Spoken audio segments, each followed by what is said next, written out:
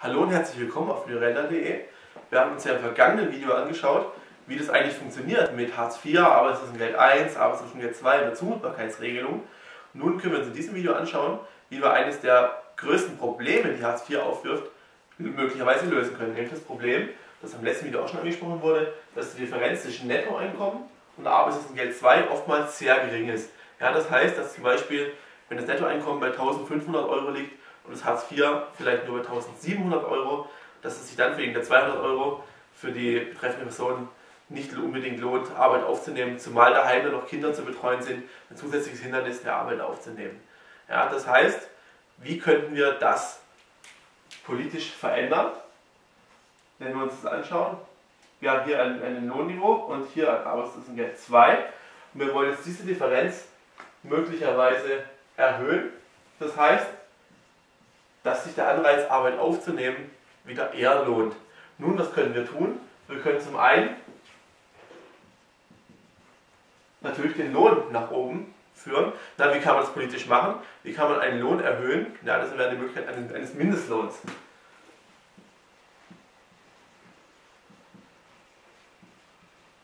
Also die erste Lösungsmöglichkeit die Differenz äh, zu erhöhen. Hätte den Vorteil, dass man das sehr leicht regeln kann. Der Nachteil ist allerdings, dass in manchen Wirtschaftsbranchen, beispielsweise Friseurbetriebe, die nicht mehr konkurrenzfähig, äh, konkurrenzfähig wären, würde da ein gewisser Mindestlohn eingeführt. Das heißt, auch hier gingen wieder Arbeitsplätze verloren.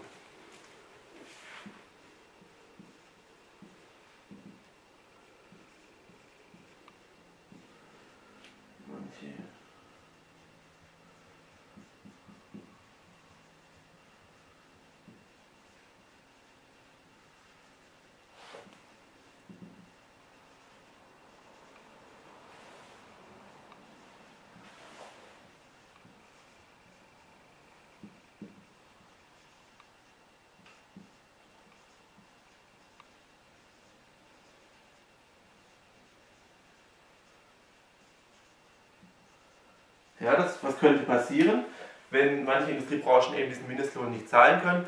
Ja, sie könnten Personal einsparen, damit noch mehr Arbeitslosengeldbezieher generieren, das natürlich genau im Gegensatz zu dem steht, was wir wollen. Es könnte aber auch sein, dass die Firma sagt, ja, nun, Deutschland ist einfach zu teuer, wir können ins Ausland gehen, dort können wir viel billiger unsere Gewerbe oder unsere Industrie aufziehen.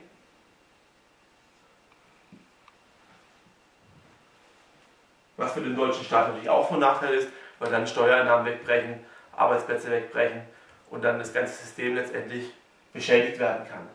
Nun wir sehen, der Mindestlohn hat also durchaus Gefahren, selbst wenn er auch diese, diese Differenz erhöhen würde. Nun, es könnte auch anders gehen. Wie können wir hier noch den Lohn erhöhen? Nun, indem wir einfach Steuern senken. Das heißt, die Einkommensteuer, die ja von jedem Lohn abgezogen wird, wenn die gesenkt wird, bleibt im Nettolohn mehr übrig und diese Differenz steigt. Nun, aber auch hier hat natürlich elementare Gefahren. Nun, unser Staat hat im Moment ein recht großes Defizit. Wir haben Schulden von über 1,8 Billionen Euro. Das heißt, äh, dieser Schuldenberg ist immer schwieriger abzutragen, gerade auch in unseren Zeiten, wo Rettungsschirme für äh, Griechenland oder generell für europäische Staaten aufgezogen werden, ist es immer schwieriger zu sagen, okay, wir wollen äh, mit dem Geld haushalten, da ja viel mehr, eigentlich viel mehr Geld gebraucht wird im Moment, als eigentlich eingenommen wird, ist es schwierig und wird dann in Form von zusätzlichen Schulden für die späteren Generationen abzutragen sein. Also die Gefahr in Steuersenkungen ist, dass es zusätzliche Schulden schafft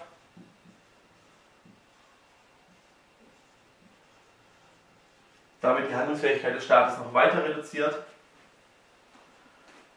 und die zukünftigen Generationen dann dementsprechend wieder mit höheren Steuern belastet werden müssen, um wieder reinzukommen.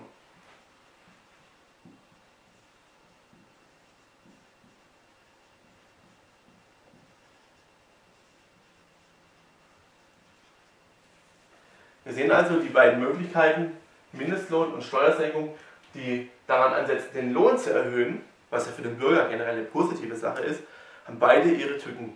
Dennoch wären es beides Wege, um dieses Problem zu lösen. Dankeschön.